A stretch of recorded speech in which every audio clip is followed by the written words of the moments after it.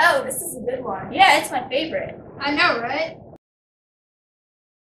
Once upon a time, there was a teacher who created a home in her classroom. As soon as students crossed over the threshold, they knew that they would be reading about great characters, but more importantly, learning about how to be the heroes in their own lives. Getting your character to overpower emotions is really at the heart of being a hero. When they read, they celebrated around the fireplace in the comfort of their living room. When they discussed, they journeyed around the classroom talking, having fun, and learning.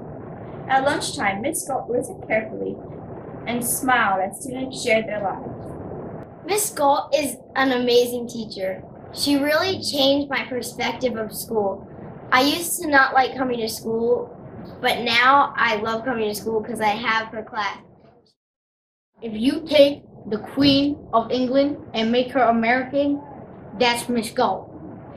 If you take Will Smith and Derek Jeter together, that's how good she teaches. Unbeknownst to her students, when Miss Gault wasn't in the classroom, she was out and about helping her colleagues to incorporate literacy into their classroom. There's nobody I know who knows more about the Common Core through her work with the Maryland State Department of Education and the Harford County Public Schools. Uh, she's really instrumental in helping us transition to the new curriculum, and she is masterful in her knowledge of data. And most importantly, she uh, does magic in the classroom. Rebecca is just one of those once in a lifetime teachers. It's something that she was born to be. And that comes across all the time. She her love of teaching and her belief in the teaching profession is contagious. And she shares that with everybody around her. Rebecca Gault is my department chair at Bel Middle School, and I nominated her for the National Teacher Hall of Fame because I think she is an amazing teacher and she brings an incredible amount of depth and beauty to her craft. And as the leader of our department, I am inspired by her.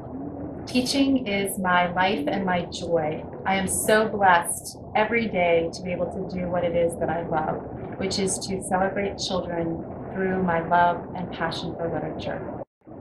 In my classroom, my goal is to create the concept of home and family.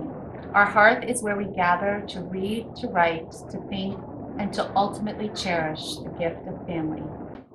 As they go through life's journey filled with challenges and triumphs, I want them to know that in this room they matter. Their story and their heritage will set the stage for generations to come.